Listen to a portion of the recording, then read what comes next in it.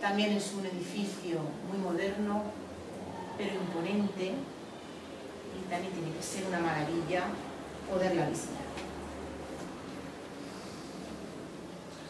Los siguientes turistas que pasaron por Egipto fueron los romanos.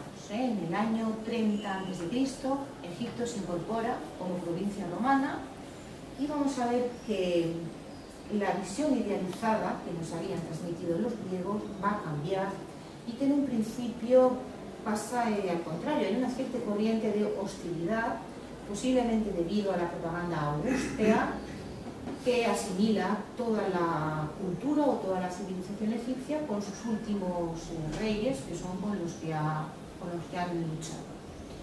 Por ejemplo, eh, Diodoro nos cuenta que un legionario romano fue linchado en plena calle únicamente por haber pisado un gato, es decir, en principio se quiere presentar a los egipcios pues, como un pueblo bárbaro.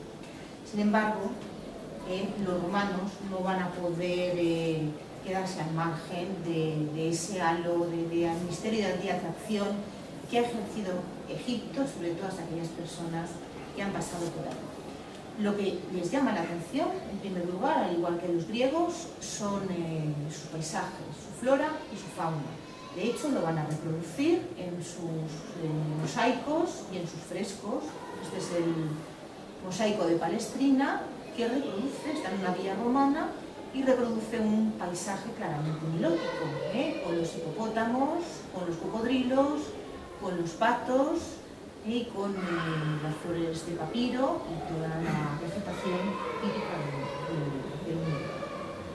Fueron además muchos los emperadores turismo en Egipto, ¿eh?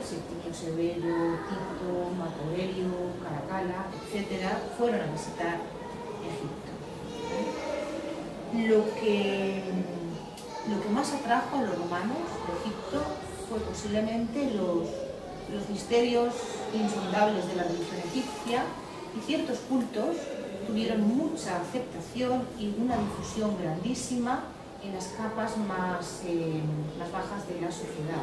Por ejemplo, el caso del culto a Isis, eh, que a través de los legionarios eh, tuvo una difusión grandísima en la cultura romana, este es el, templo dedicado a Isis en Pompeya, también aquí en la península ibérica.